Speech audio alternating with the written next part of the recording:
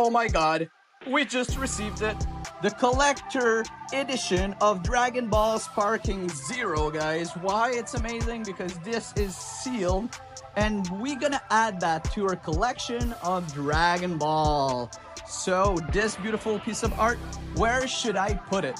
So if you guys want to help me figure it out, go check my past video where show you guys my room and how we're gonna make it even better. See you in the next one. Peace out.